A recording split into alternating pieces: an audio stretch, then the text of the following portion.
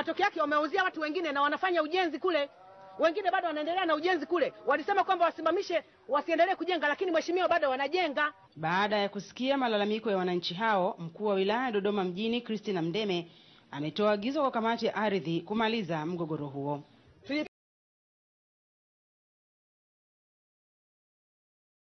watambue lile eneo la Kinyambwa extension. Wakisha litambua lile eneo, watambue ni, ni kiasi gani kimejengwa na kiasi gani hakijajengwa. Ninatoa mwezi mmoja, kazi hii ifanyike. Naibu Waziri Ofisi ya Waziri Mkuu, Kazi, Vijana na Ajira, Anthony Mavunde amehudhuria mkutano huo na kuahidi kuwachukulia hatua za kisheria wananchi wanaofanya udanganyifu katika zoezi la uhakiki wa maeneo hayo. Hao watakuwa wanakwenda kufanya vitu tofauti, wakijitokeza watu wengine sikio, na sisi tunafanya utaratibu mwingine, tunachukua hatua za kisheria tu, maana mnakuwa mnasumbua serikali pia watu wengine. Kwa tukubaliane kimsingi kabisa, kwenda katika katika hatua hizo. Anet Andrew, TBC, Dodoma. Baadhi ya wakazi waliokaidi kubomoa nyumba zao kwa hiari kando kando ya barabara ya Uganda katika manispaa ya Bukoba mkoani Kagera wamejikuta wakiwa katika hali ya taharuki baada ya nyumba zao kubomolewa kwa nguvu na wakala barabara nchini TANROADS. Meneja wa TANROADS mkoani Kagera, mhandisi Andrew Kasamwa amesema wakala wa barabara umeamua kuchukua hatua hiyo baada ya taratibu za ulipaji wa fidia kwa wamiliki wa nyumba hizo kukamilika. Taarifa zaidi na Charles Mwebea.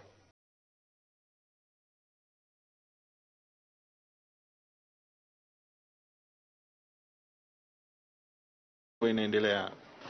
Tofauti na bomoabomoa zilizopita, mara hii kazi hiyo inafanyika kwa amani chini ya usimamizi wa jeshi la polisi, huku wananchi wakionyesha kuridhika na zoezi hilo. Athari ni kama hivi, mtu hujajiandaa, vitu vinaharibika, lakini kwa sababu ni zoezi endelevu, hatuwezi kupingana na serikali, wanatengeneza sheria. Kuna majumba mengine mapya, kuna wengine walilipwa. Baada ya kulipwa, wale wenye nyumba wamewahusia watu wengine ambao hawajui, wamejenga ndo hawajaingiza hata watu tayari, sasa wanakuja kuvunja. Kubomoa serikali ni haki yake, sababu watu waliambiwa siku nyingi, wengine waishalipwa, hawataki kufuata masharti ya serikali. Kwa hiyo sioni tatizo lolote, sisi wenyewe binadamu ndio tuna matatizo. Meneja wa wakala wa barabara nchini TANROADS mkoani Kagera, mhandisi Andrew Kasamwa anasema waathirika wa bomoabomoa hiyo wamekwisha lipwa fidia, lakini baadhi yao wamekaidi kuondoka licha ya kupewa muda wa kujiandaa. Wameshalipwa fidia tangu mwaka 2012 lakini tangu kipindi hicho hawataki kuondoa, wanavunja nusu nusu, mara wanaanza kujenga tena, ingia ndani, watu wengine wanauzia watu wengine. Sasa tumeona sasa tumefikia mwisho, waheshimu hifadhi ya barabara kwa sababu ni muda wote sisi tukute umejenga unavamia, sisi tutakuja kuvunja na gharama utalipa. Charles Mubea, TBC, Bukoba. Rais Dr. John Magufuli amekutana na viongozi wa staafu na wasasa wa vyombo vya ulinzi na usalama hapa nchini.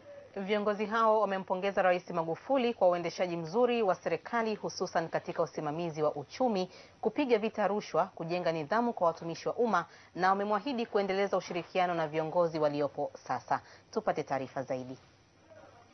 Ikulu jijini Dar es Salaam. Amiri jeshi mkuu wa majeshi ya ulinzi na usalama Rais Dr. John Magufuli amekutana na wakuu wa jeshi la ulinzi la wananchi wa Tanzania JWTZ, wakuu wa jeshi la polisi, wakuu wa idara ya usalama wa taifa, wakuu wa idara ya uhamiaji, wakuu wa jeshi la magereza na wakuu wa jeshi la zimamoto na kwa mazungumzo. Tumempongeza kwa kazi nzuri anayofanya. E, si jambo la picha, amefanya kazi nzuri e, na kila mmoja wetu amezungumza hilo. e, kwa kweli tunachoona ni kwamba amefanya kazi nzuri.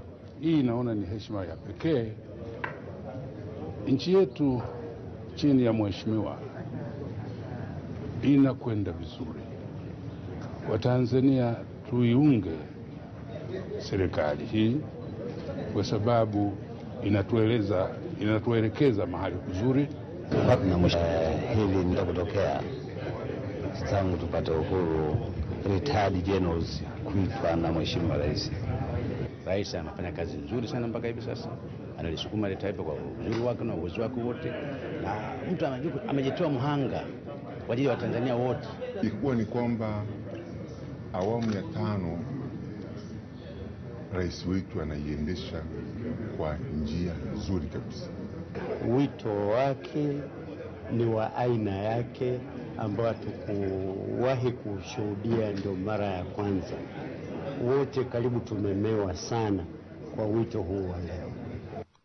Mkurugenzi wa mawasiliano ya rais Ikulu Gelson Msigwa amesema Rais Magufuli amekutana na viongozi hao kujenga ushirikiano imara zaidi kwa viongozi wastaafu na viongozi wa sasa. Kwanza viongozi hao kuwaweka pamoja, lakini pili eh, kuendelea kupata mawazo yao eh, lakini pia kutengeneza utaratibu ambao sasa eh, bila shaka uzoefu wa wao wakiwa katika nafasi zao kwenye vyombo hivi na huu wa sasa na mwelekeo wa serikali viweze kwenda pamoja. Florence Mavindi, TBC, Dar es Salaam. Florence Mavindi kwa taarifa hiyo. Mtazamaji, tusalie jijini Dar es Salaam ambapo watu wanne wameuawa wakati wa mapambano na polisi katika jaribio la kupora fedha kwenye duka la jumla eneo la Kigogo Darajani jijini Dar es Salaam. Akizungumza na waandishi wa habari, kamanda wa polisi kanda maalum ya Dar es Salaam Lazaro Mambosasa amesema polisi ilipata taarifa kutoka kwa msamaria mwema, hivyo kufanikiwa kuzuia tukio hilo na kufanikiwa kukamata bastola moja ikiwa na risasi saba na magazini yake. Tumeamua kwamba Dar es Salaam tunataka iwe salama, na yeyote anayefikiria kwamba haya ni maneno matupu na ambayo imeshatenda makosa mengi, imeshatenda ma, ma, matukio mengi hapa mjini, lakini niwahakikishie ndani ya muda mfupi, kwa sababu tayari mtandao tunao Dar es Salaam kupitia kikosi cha usalama barabarani limefanikiwa kukusanya shilingi milioni mia nne kwa siku tano kuanzia Agosti 25 hadi 30 kutokana na tozo za makosa ya usalama barabarani. Idhaa mpya ya utalii wamekutana mjini Dodoma na kukubaliana kuwa idhaa hiyo itaanza rasmi mwezi Julai mwakani. Mkurugenzi mtendaji wa bodi ya utalii nchini TTB Devota Mdachi amesema kuwa kamati ya uratibu wa zoezi hilo inayoundwa na wanasheria na baadhi ya mameneja ameandaa andiko litakalowasilishwa mamlaka ya mawasiliano nchini TCRA kwa ajili ya kupata kibali. Mwandishi wetu Idi Maalim kutoka Dodoma ameshuhudia mchakato wa maandalizi hayo na ifuatayo ni taarifa yake. Ni mfululizo wa mchakato wa kuanzishwa kwa chaneli mpya utalii nchini, kikao kinachofuatia makubaliano ya awali ya kuanzisha chaneli hiyo ambayo itakuwa inarusha masuala ya utalii, makala na filamu zenye maudhui ya utalii na uhifadhi wa nchi, na hivyo kuzileta pamoja mamlaka hizi katika kutangaza utalii ndani na nje ya nchi. Mkurugenzi mtendaji wa TTB Devota Mdachi ni miongoni mwa watendaji hao wakuu. 2018. Uh, chano hiyo tum, uh, tumekubaliana kwamba ita, itaonyesha vivutio mbalimbali vya, vya, vya utalii ambavyo viko hapa Tanzania, sio tu wanyama, lakini pia pamoja na uh, uh, mila na desturi za Watanzania, vyakula vyetu, fukwe zetu, milima na kadhalika. Mkurugenzi mkuu wa TBC Dr. Ayub Rioba ameeleza jinsi mchakato unavyoenda. Na kimsingi tumekubaliana kwamba e, tuanze mchakato wa kusajili hapa tulipofikia, na mengine yale ambayo bado hayajakamilika yatakamilika tu. E, inaweza ikachukua muda kidogo kuliko tulivyodhani. Tulidhani mwanzoni kwamba Desemba tutakuwa tumeshakamilisha, lakini kuna taratibu za kisheria, taratibu za kimichakato ambazo lazima zifuatwe, na ndio utaratibu wenyewe, na zikishakamilika hizo kwa kweli eh, haitachukua muda, hatutachelewa sana kuianzisha hiyo channel. Baadhi ya watendaji walioongoza mchakato huo wanatoa picha ya uanzishwaji wa chaneli hiyo. Swala la content ni jambo halitopeki kabisa, kwamba eh, huyu bwana wa production lazima awe na kazi ya kufanya, hata kama tutakuwa na tunaanzisha kipindi cha utalii, lazima mtu wa production atumike.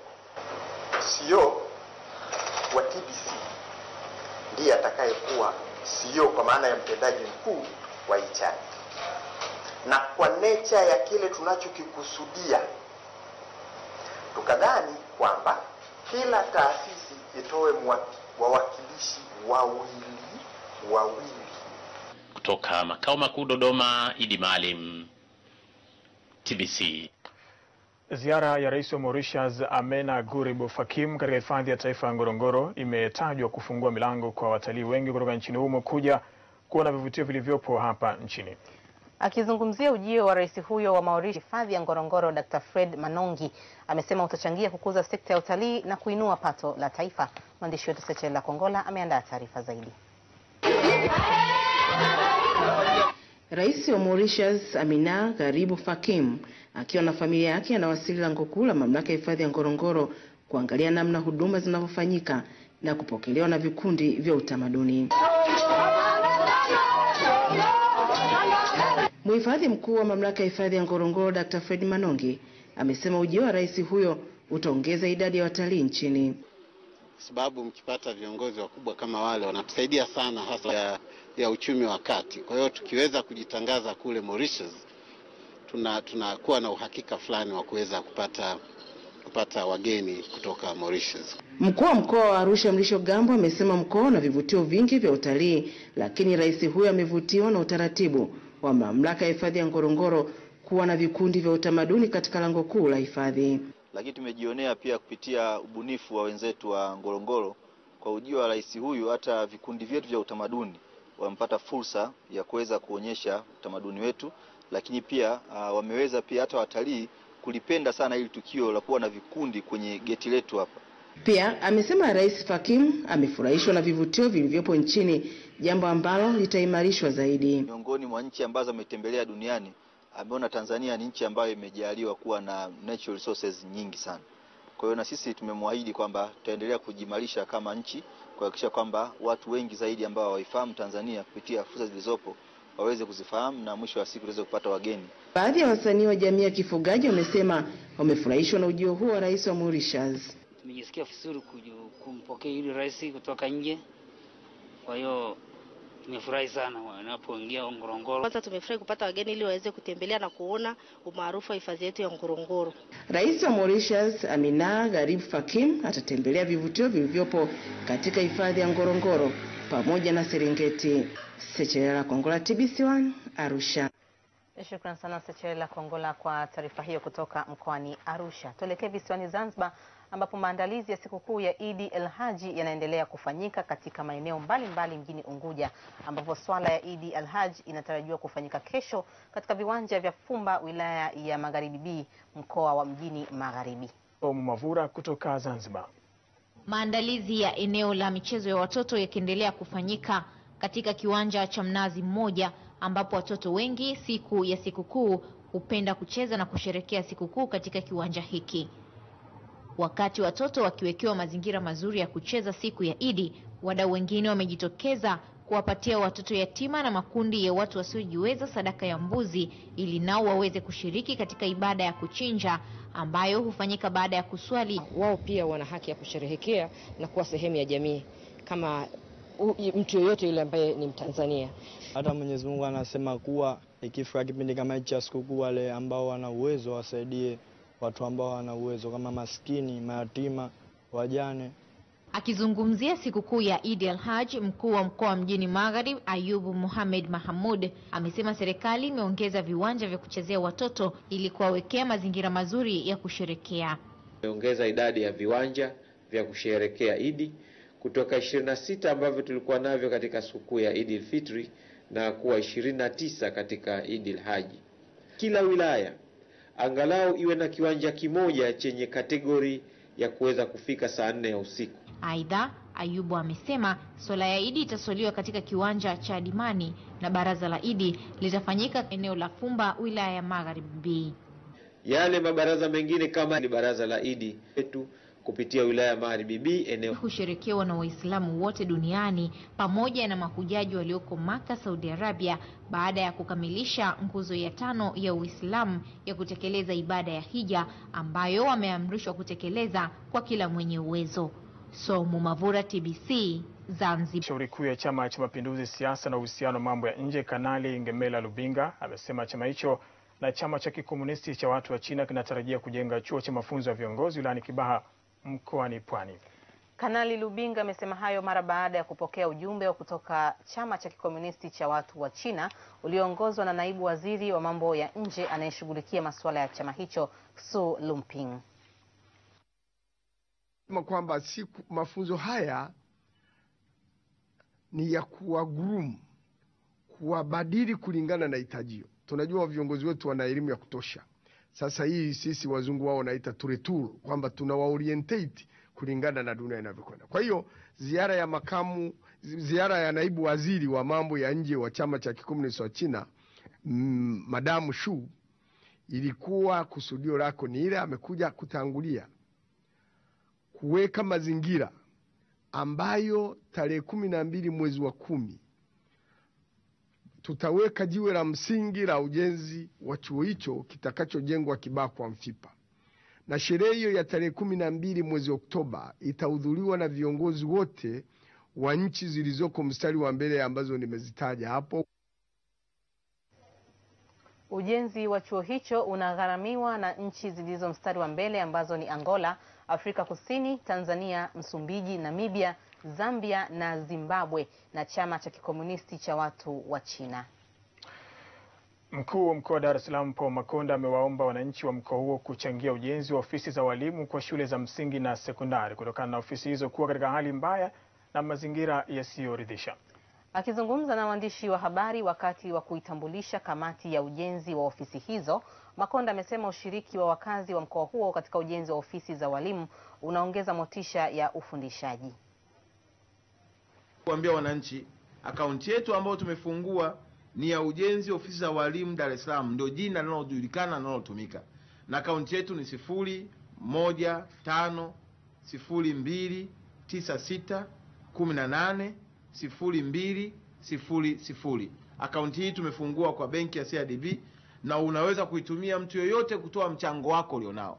Michango tunayohitaji ni namna nyingi. Tunahitaji mabati, tunahitaji nondo, tunahitaji kokoto, tunahitaji simenti, tunahitaji mchanga, tunahitaji hata nguvu kazi. Kama kuna vijana wako kwenye kata, kwenye mtaa, wanajua kabisa shule yao ni shule fulani na inaanzwa kujengwa na walimu wanawajua na wanawapenda, tuko tayari kuwapokea vijana watakaoshiriki. Elimu Kanali Charles Mbuge amesema kamati hiyo itasimamia ujenzi huo na utakamilika kwa wakati.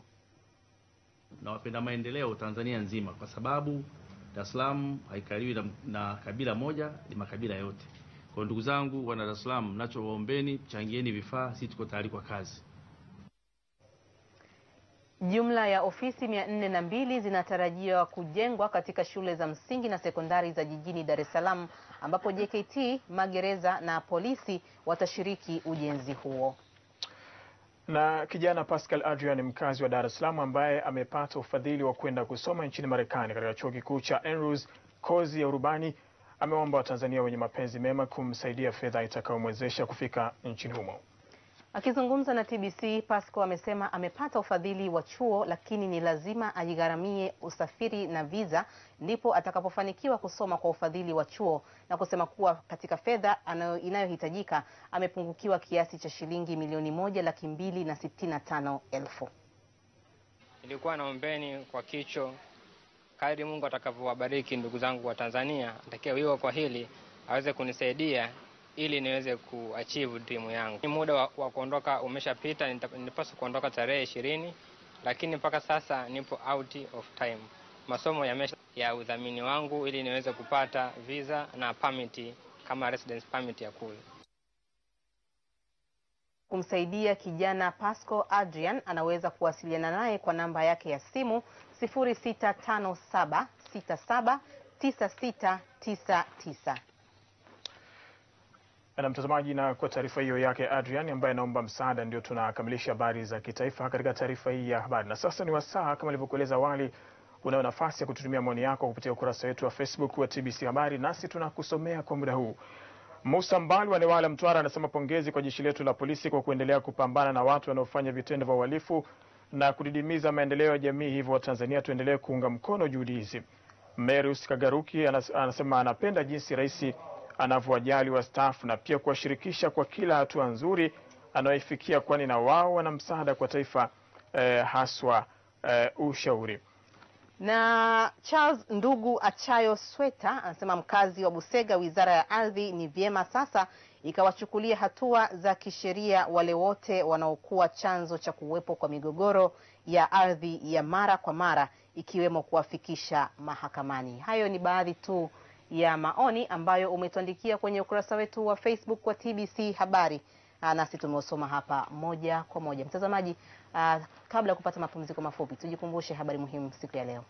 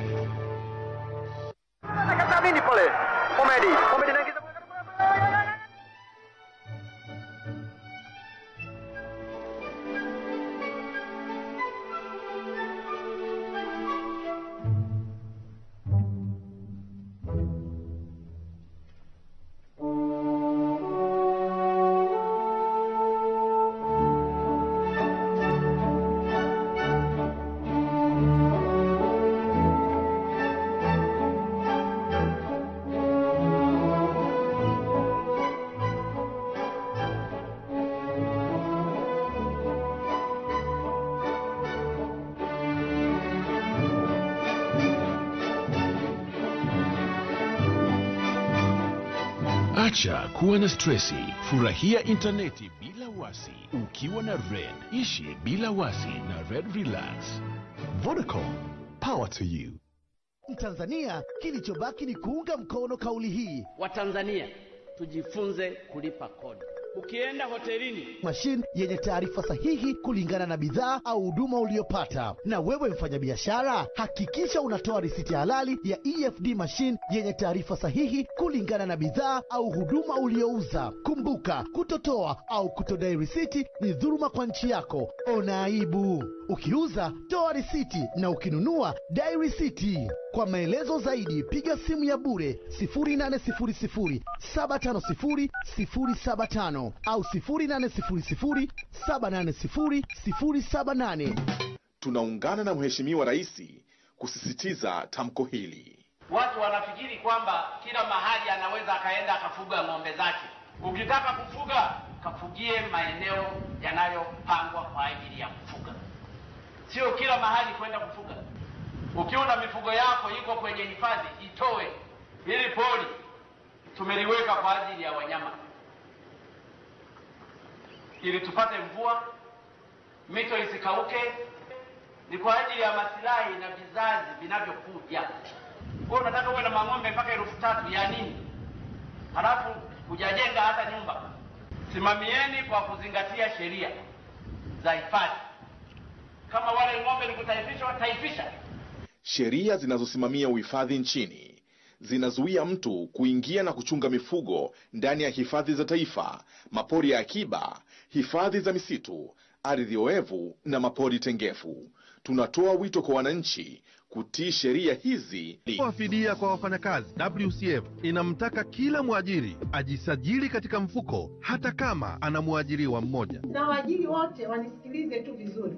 Wao wametekeleza takwa hili la kisheria la kuwalinda wafanyakazi wa nchi yetu ya Tanzania watakapoumia, watakapopata magonjwa kazini, watakapopatwa na vifo kazini, wawe wana sehemu ambayo itakwenda kuwapa fidia, na sehemu pekee ni mfuko wa fidia kwa wafanyakazi. Kwa mujibu wa sheria ya fidia kwa wafanyakazi, waajiri wote walio katika sekta ya umma na binafsi Tanzania bara wana wajibu wa kujisajili katika mfuko na wanatakiwa kutekeleza agizo hili la waziri ifikapo tarehe 31 Agosti 2017 ili kuepuka hatua za kisheria dhidi yao. Kwa mawasiliano piga namba 0800110028 au 0800110029. Namba hii tofauti pasipo kuhakikisha alama ya ubora wa bidhaa.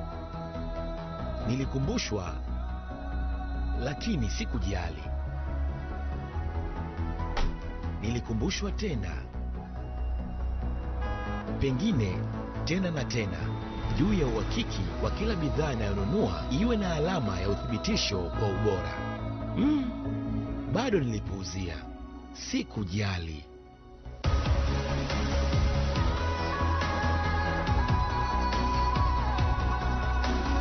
Sasa madhara ni makubwa kwa kutumia bidhaa ambazo hazijathibitishwa ubora wake.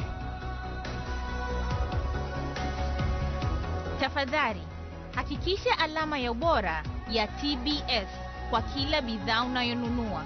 Ujumbe huu umeletwa kwenu na shirika la viwango Tanzania TBS.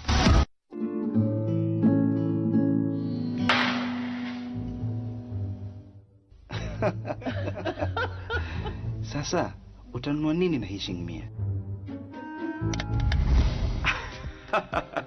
Shilingi mia kwetu ina thamani kubwa sana. Inakuwezesha kupata sekunde 200 kupiga Halotel kwenda Halotel au sekunde 100 Halotel kwenda mitandao mingine. Zungumza usiku kucha bila kikomo kuanzia saa sita usiku hadi saa 12 alfajiri. Pia tunakupa MB 25 usiririke na internet yenye kasi zaidi. Chipsi Bando.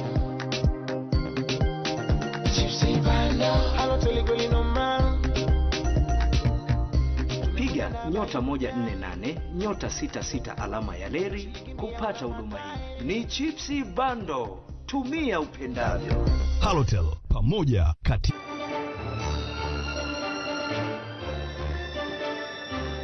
habari za biashara na Airtel pamoja na Vitafom.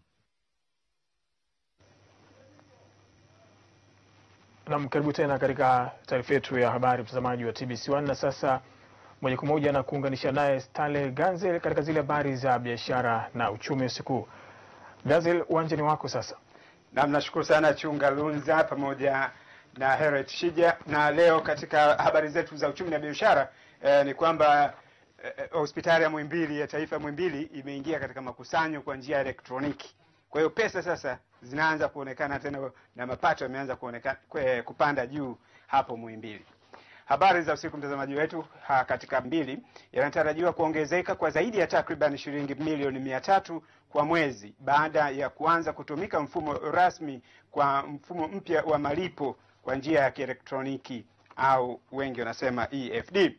Mkurugenzi wa fedha wa hospitali hiyo Gerard Jeremiah amesema makusanyo hayo yataongezeka kwa sababu mfumo huo umerahisisha malipo kwa wagonjwa na umeziba mianya ya upotevu wa fedha. Kwa upande wake, mkurugenzi wa kampuni ya malipo ya kielektroniki ya Maxcom Africa Jameson Kasati amesema wakati wote lakini sasa tunaendelea kwamba tumuondolee mgonjwa adha ya kwenda kupanga tena foleni kwenye dirisha la, uh, la benki. Kwa mgonjwa atalipa moja kwa moja kwa simu na kwa kadi. Kwa hiyo tunategemea tuendelee kuokoa kiwango hicho cha milioni mia tatu na zaidi, inaweza ikawa milioni mia tatu hamsini kwa mwezi, kwa sababu sasa hivi sisi wafanyakazi tutakuwa hatugusi fedha na kwenye huduma za hospitali ukiondoa malipo vilevile vile tuna tunatoa tuna, tuna mfumo ambao unarahisisha management ya huduma za hospitali kuanzia registration ya wagonjwa kuja kwenye uh, consultation na daktari kuja kwenye um, laboratory testing pharmacy mpaka mgonjwa anatoka Kampuni mbili za mafuta ya Sahara Energy na Adax Energy zimeshinda zabuni ya kuagiza mafuta ya diesel, petrol na mafuta ya ndege yatakayotumika nchini mwezi Oktoba mwaka huu. Adax itaagiza mita za ujazo zipatazo laki moja na arobaini na tisa elfu za petroli kwa wastani wa dola kumi na nne nukta mbili tano za Marekani kwa mita moja ya ujazo na Sahala mita za mita ya ujazo pamoja na mita za ujazo elfu tisini na tatu kwa wastani ya dola kumi na sita za Kimarekani kwa mita moja ya ujazo. Akizungumza mara baada ya kufungua zabuni kwa ajili ya kuagiza mafuta hayo, kaimu mkurugenzi wa wakala wa uagizaji mafuta kwa pamoja Raymond Lusekelo amesema jumla ya kampuni tano, nne za nje ya nchi na moja ni ya ndani zimeshiriki katika mchakato huo wa zabuni. Wake mafuta ya mwezi wa tano yanakaribia metric ton laki tano. Mara nyingi tumekuwa hatufiki huko, ni mafuta mengi sana, ni metric ton mia nne tisini na tano. Ni mafuta mengi sana ambayo yanakuja mwezi mwezi Oktoba, lakini ni ishara nzuri kwamba kwa matumizi ya ndani mafuta yatakuwa ni mengi, lakini pia tutakuwa pia tunazihudumia nchi jirani za zinazopakana na Tanzania kwa manunuzi ya zabuni. Uh, zabuni wa ndani alikuwa ni mmoja tu na yeye amezu- zingine zimenunuliwa na zabuni watano wa ambao wanato, ni makampuni yanayotoka nje. Waziri wa Ardhi, Nyumba na Maendeleo ya Makazi William Lulukuvi amezitaka taasisi za kifedha kuwasajili madalali wanaotumika kutafuta wateja wa mikopo ili waweze kulipa kodi. Akifungua semina ya wamiliki wa benki na wasajili wasaidizi wa mabaraza ya ardhi ya wilaya nchini jijini Dar es Salaam, Lukuvi amesema Madalali hao wanapaswa kuwa na kisomo maalum na wasajiliwe na wasitumike kutapeli wateja. Naye mkurugenzi mtendaji wa Chama cha Mabenki Tanzania Tusekile Mwaikasu amesema kurundikana kwa kesi za madai mahakamani kunasababisha riba ya mikopo kuwa kubwa. Sisi tunashughulika sasa na wale wanaitwa madalali na maajenti, tunatunga sheria. Tunataka kuweka sifa ya maajenti hao na madalali. Sasa hivi kila mtu asiye na kazi vibao viko kila kona, wanauza hata visivyohusika. Sasa tunataka tuweke sifa ya kisomo, sifa ya uzoefu kabisa kwa sheria. Sasa hivi tunataka kuweka na tunataka hawa maajenti wote wawe wanalipa kodi. Unapomkopesha mtu, unapotaka kumdai halipi, anakimbilia mahakamani, anakimbilia kwenye baraza. Kwa sasa benki wanashindwa hata kupunguza zile riba, kwa sababu inabidi wafidie ule muda unaochukuliwa mpaka hela yake anaipata. Benki Kuu ya Tanzania inawataka Watanzania kupuuza taarifa zinazozunguka kwenye mitandao ya kijamii kuwa kutakuwa na zoezi la ubadilishaji wa fedha za zamani. Taarifa ya Benki Kuu kwa vyombo vya habari imesema taarifa hizo ni za uongo na hazijatolewa na benki hiyo na kuwataka wananchi kuendelea kufanya miamala yao mbalimbali kwa kutumia fedha zetu kama kawaida. Na benki ya CBA inawashauri Watanzania kupenda kujiwekea akiba benki hususan katika kipindi hiki kinachoelekea mwishoni mwa mwaka ili kuwa na fedha za kutosha kwa ajili ya mahitaji mbalimbali ya kifamilia kama ada za shule.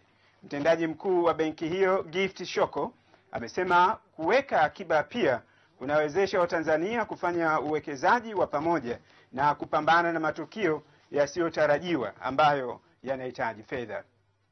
Uh, what we are saying to them is uh, savings must be part of uh, our uh, daily lives. We are preparing for tomorrow.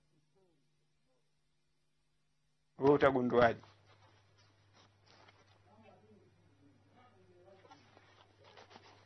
Tuhitimishe kwa kupata viwango vya kubadilisha fedha za kigeni. Fairas, fai...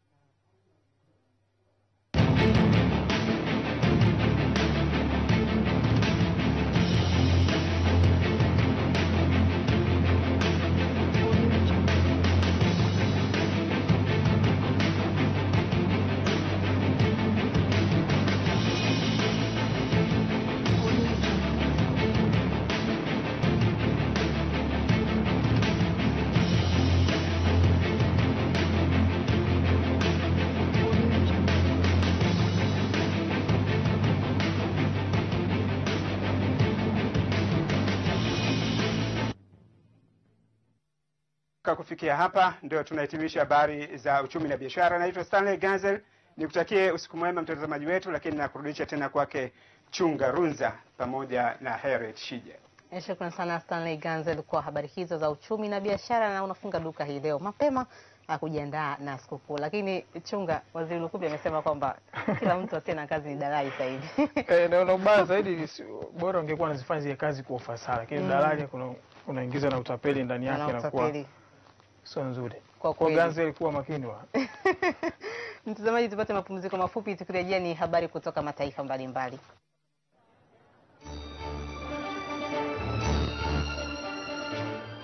Vitapom. Wewe wewe, mimi eh? Mjo! njoo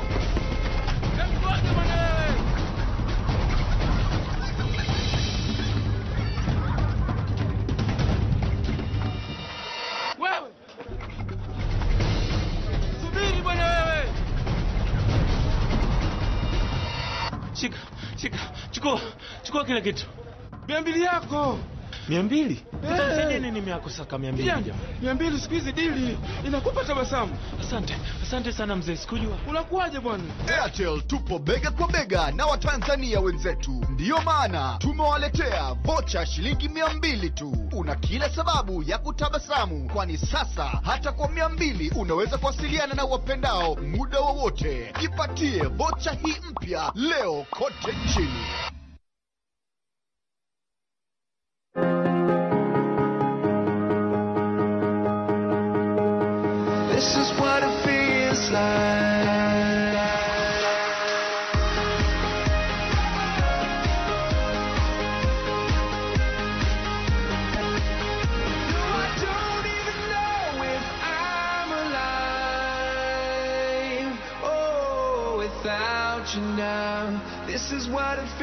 slide.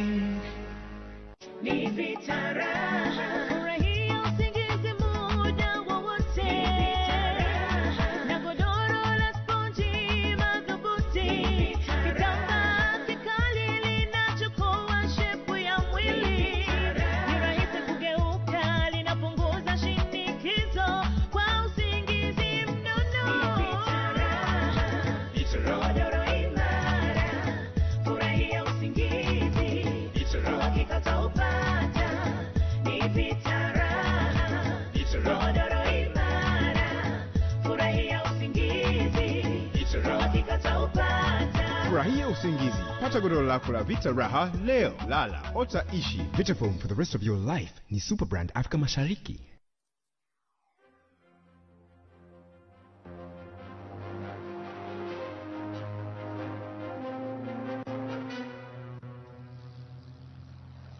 Habari za kimataifa na Tigo pamoja na Hagan Sanitary Baby Product.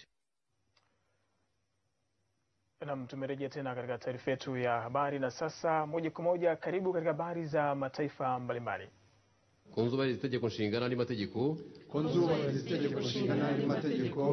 Rais Paul Kagame wa Rwanda amewaapisha mawaziri aliowateua kuunda baraza la mawaziri mara baada ya kufanya mashauriano na waziri mkuu mpya wa nchi hiyo Dr. Edward Ngirente. Kwa mujibu wa matangazo ya televisheni cha taifa cha Rwanda RTV, mawaziri hao wamekuwa kiacho uaminifu kutumikia taifa hilo katika hafla ambayo imefanyika katika ukumbi wa bunge na kushuhudiwa na wabunge na wageni waalikwa wakiwemo mabalozi. Ili Shariki Luizi Mushikiwabo na waziri wa ulinzi Jenerali James Kabarebe wamerejeshwa katika nyadhifa zao. Kwa upande wa waziri mkuu Daktari Edward Ngirente mwenye umri wa miaka 44 ni mteule mpya na mgeni katika ulingo wa siasa. Waziri wa ulinzi wa Marekani Jenerali James Mattis yupo nchini Japan kwa mazungumzo na waziri wa ulinzi wa nchi hiyo ili kujenga mkakati wa pamoja wa kijeshi katika kukabili tishio la mashambulizi ya kijeshi kutoka Korea Kaskazini. Ziara ya waziri huyo wa Marekani nchini Japan inafuatia jaribio la kombora lililorushwa na Korea Kaskazini hivi karibuni na kupita juu ya kisiwa cha Hokkaido cha Japan. Kitendo hicho kimeifanya serikali ya Japani kuchukua hatua za tahadhari ikiwa ni pamoja na kuweka mitambo ya kutungulia makombora aina ya Patriot. Huko Saudi Arabia, zaidi ya waumini milioni mbili wa Kiislamu wapo katika hatua za mwisho za ibada takatifu iliyowafikisha katika mji wa Meka na Madina kwa lengo la kufanya ibada. Ibada hii ya hija inalenga kutukuza ibada iliyofanywa na mwasisi wa dini ya Kiislamu Mtume Muhammad, rehema ziwe juu yake. Taarifa kutoka katika milima ya Arafat, mahala ambapo kesho hujaji wanatarajiwa kufanya ibada ya kuchinja wanyama kama kondoo na ngamia, zinasema licha ya kuwepo joto kali linalofikia nyuzi joto 30 hadi 40, mahujaji wamemudu kutembea umbali mrefu wakiwa wanatekeleza somi katika dini ya Kiislamu. Waumini wa Kiislamu wanaamini sala zitakazofanyika katika milima ya Arafat zitajibiwa mara moja na Mola wao, kwani eneo la milima hiyo ni moja ya maeneo matakatifu katika imani ya dini ya Kiislamu. Nchini Nigeria, waziri wa mambo ya nje wa Uingereza Boris Johnson ataka maafisa wa jeshi la nchi hiyo waliopo nchini Nigeria wanatoa mafunzo bora ili kuliwezesha jeshi la nchi kuwa na kiwango cha juu cha utendaji kivita. Akizungumza nchini Nigeria, Johnson amesema hadi sasa serikali ya Uingereza inaridhika na namna jeshi la serikali ya Nigeria linavyopata ushindi dhidi ya waasi wa Boko Haram. Johnson ameongeza kuwa Uingereza itaendelea kutoa misaada ya kijeshi na mafunzo ya medani za kijeshi kwa jeshi la Nigeria ili liweze kurejesha amani katika majimbo ya kaskazini magharibi ya nchi hiyo. Tangu serikali ya Uingereza ianze kulisaidia jeshi la Nigeria, wakufunzi wa kijeshi kutoka Uingereza wamemudu kuwapa mafunzo ya mbinu bora za utendaji kivita wanajeshi elfu ishirini wa Nigeria. Na serikali ya Sudani Kusini imeutaka Umoja wa Mataifa, Umoja wa Ulaya EU, Umoja wa Afrika, Jumuiya ya Afrika Mashariki na Umoja wa Nchi za Pembe ya Afrika IGAD kulaani mashambulizi ya kijeshi yaliyofanywa na waasi katika kambi ya majeshi ya serikali ya nchi hiyo katika mji wa Pajok jirani na mpaka wa Uganda hivi karibuni. Kwa mujibu wa waziri wa habari wa Sudani Kusini Michael Makwelwet, mashambulizi ya waasi wanaoongozwa na aliyekuwa makamu wa rais wa Sudani Kusini Daktari Riek Machar katika mji wa Pajok hayakubaliki na yanazidisha umwagaji damu nchini humo. Katika mashambulizi hayo, pamoja na raia kuuawa na mali za umma kuharibiwa, mwandishi wa habari wa kujitegemea kutoka Marekani Christopher Allen alipigwa risasi na kuuawa. Allen alikuwa akipiga picha za mapigano kati ya majeshi ya waasi na yale ya serikali inayoongozwa na Rais Salva Kiir. Naam, ni Bakari Mwarabu na habari kutoka mataifa mbalimbali. Punde ni michezo na burudani. Tafadhali baki nasi.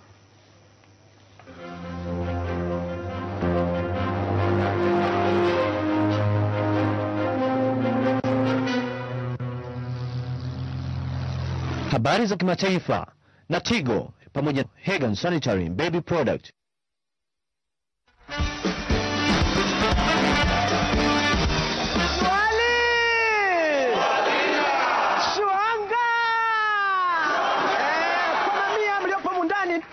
Eh, pendwa kabisa wa Tigo kutoka kila kona ya Tanzania, ni wakati wa kabla wasijaendelea, naomba kila mtu anyonyeshe simu yake. Eh, simu simu bwana eh. Tupate ujumbe kidogo, alafu au MB za ziada kila uongezapo muda maongezi kwenye promotion ya Jaza Ujazwe kutoka Tigo. Asante sana Tigo! Kwa wale wote waliojaza muda wa maongezi, tazameni simu zenu sasa. Dada umejaza, wote umejaza, na wewe uliyepo nyumbani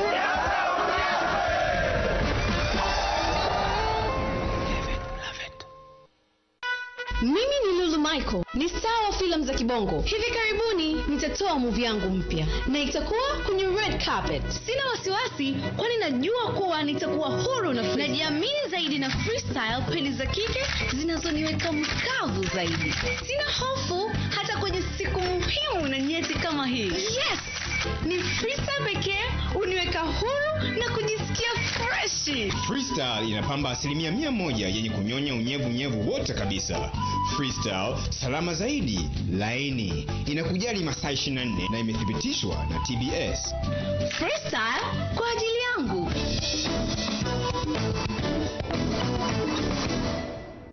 Bong, bong, bong. Wakati wote watoto hupenda kucheza mahali popote wanapopaona, lakini wakiwa na Pompon hukamilisha hamu yao vizuri, kwa sababu huwapa urahisi wa kukimbia watakavyo. Pompon huvutika kirahisi kiunoni na humkaa vizuri mtoto yoyote yule. Pompon matunzo bora kwa maisha ya baadaye.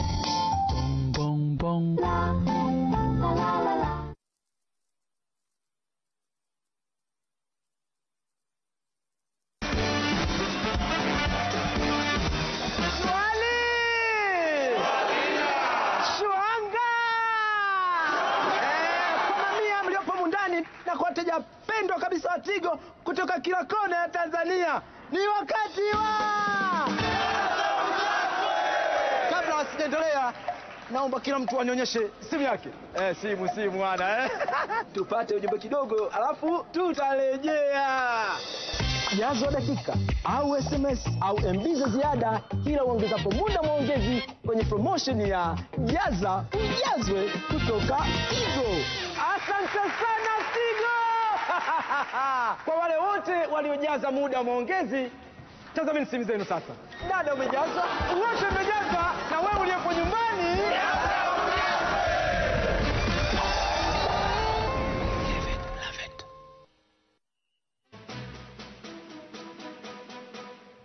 Habari za michezo na TTB.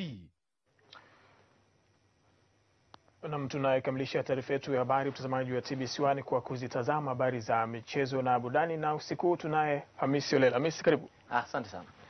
Naam, karibu sasa mtazamaji katika habari zetu za michezo na burudani. Mimi ni super sub striker Hamisi Holela. Serikali imewataka wachezaji wa timu ya taifa ya Tanzania Taifa Stars kucheza kwa bidii ili kushinda mchezo wao wa kirafiki dhidi ya Botswana maarufu kama Zebra, mchezo utakaopigwa Jumamosi hii Septemba pili kwenye uwanja wa Uhuru jijini Dar es Salaam. Wito huo umetolewa na Waziri wa Habari, Utamaduni, Sanaa na Michezo Dr. Harrison Mwakembe ambaye anasema wachezaji wa Taifa Stars wanapaswa kutumia nafasi ya mchezo huo kuonyesha viwango vya juu ili kujitafutia soko la kusajiliwa na vilabu vikubwa duniani. Kila timu tunaopambana nayo tupambane kwa nguvu zote zile, kwa sababu hujui mwenzako na amejiandaa vipi. Botswana uh, inaleta timu yao ya taifa, ni timu yenye nguvu na imefanya vizuri pia katika michezo kadhaa, na sisi wenyewe lazima tuingie pale tukichukulia kwamba Botswana ni washindani wetu, lazima tuwapige magoli ya kutosha ili tuweze kusimama katika nafasi nzuri ya kwamba hili sio taifa la mzaha.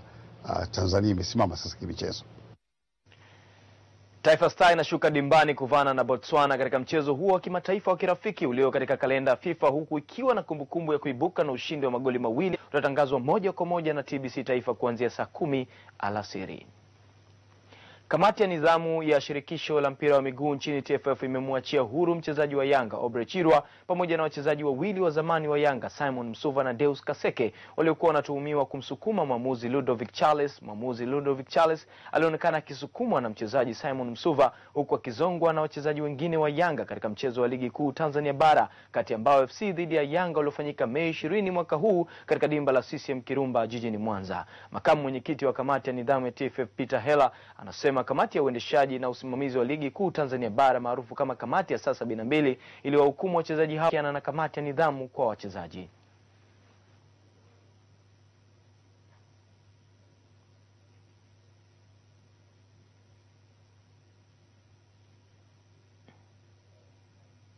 kwamba wachezaji wengi kama Deus Kaseke na na na Chirwa wameweza pia kukosa mechi nadhani za kwanza za timu zao, lakini hawajaweza kutwa na hatia na kamati, hivyo wametumikia adhabu kabla hata ya kukutwa na hatia. Hivyo tunaishauri TFF na kamati zake kuhakikisha kwamba inafuata kanuni na taratibu na kuhakikisha inaziita kamati husika kuamua kufanya maamuzi pale maswala yanapotokea. Kamati ya nidhamu imebaini kuwa wachezaji wa Chirwa na Deus Kaseke hawakuwa na kosa katika shauri hilo licha ya kuwa wametumikia adhabu ambayo haiwahusu. Kamati hiyo ya nidhamu ya TFF pia imempa onyo kali mchezaji Simon Msuva kutokana na kitendo alichokifanya cha kumsukuma mwamuzi Ludovic Charles katika mchezo huo uliomalizika kwa Mbao FC kupata ushindi wa goli moja kwa bila. Kamati ya watu wanne itakayofanyia marekebisho ratiba ya ligi kuu Tanzania bara ili kuondoa usumbufu wa kupangua ratiba ya ligi hiyo mara kwa mara. Kaimu katibu mkuu wa TFF Wilfred Kidao anasema bodi ya ligi inatakiwa kupanga ratiba kwa kuzingatia kalenda ya FIFA pamoja na hali ya viwanja ambavyo pia hutumika kwa shughuli nyingine za kijamii. sio ratiba ambayo mtu anaweza akaamka leo hii akaamua vinginevyo kwa utashi wake. Kasema hilo jambo tutalisimamia kwa nguvu zetu zote, kwa sababu bodi ya ligi ni chombo chetu. Tumekipa uhuru wa kufanya kazi ya kusimamia ligi. Tunapenda wafanye kazi inayoendana na matakwa halisi ya mpira wa miguu wa nchi hii. Kufuatia kupanguliwa kwa ratiba ya ligi kuu Tanzania bara, rais wa TFF Wallace Karia amemwagiza kaimu katibu mkuu wa TFF Alfred Kidao kumwandikia barua mtendaji mkuu wa bodi ya ligi ili atoe adhabu kwa watendaji wa bodi ya ligi waliohusika kupanga ratiba ya ligi kuu bila ya kuzingatia kalenda ya FIFA. Kamati hiyo inaundwa na wajumbe kutoka bodi ya ligi pamoja na mjumbe mmoja kutoka TFF ambao watapanga ratiba ambayo haitapanguliwa tena hadi mwisho wa ligi kuu Tanzania bara.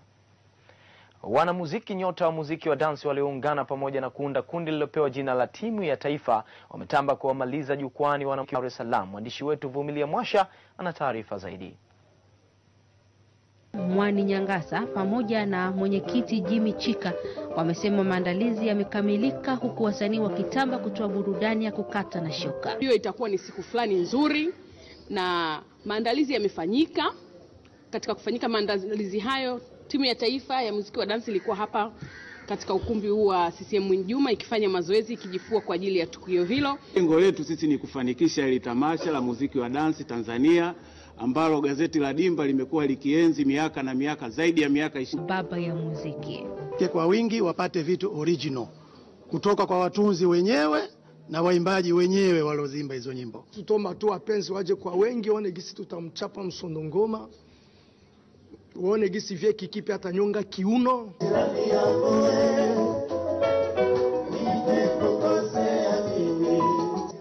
Vumilia Mwasha, TBC, Dar es Salaam.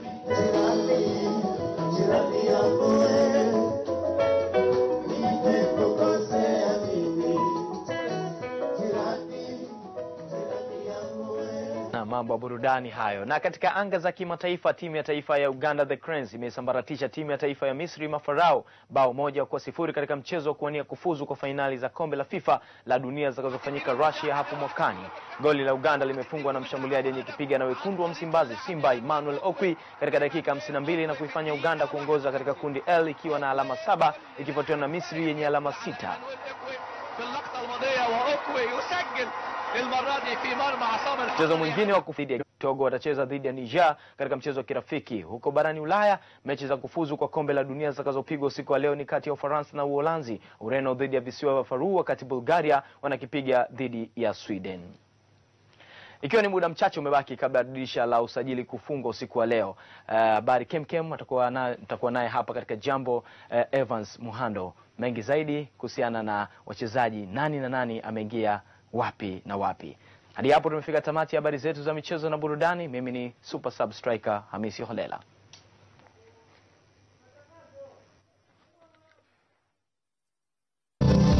Tanzania ni nchi nzuri yenye makabila ambayo yana tamaduni tofauti tofauti na ina vivutio vingi vya utalii.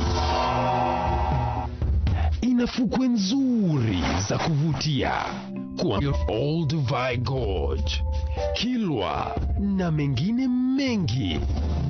Mlima Kilimanjaro ni mlima mrefu kuliko yote barani Afrika. The Roof of Africa. Moja ya kivutio cha asili duniani ni bonde la Ngorongoro, nalo lipo Tanzania. Vivutio vyote hivi ni mali yetu.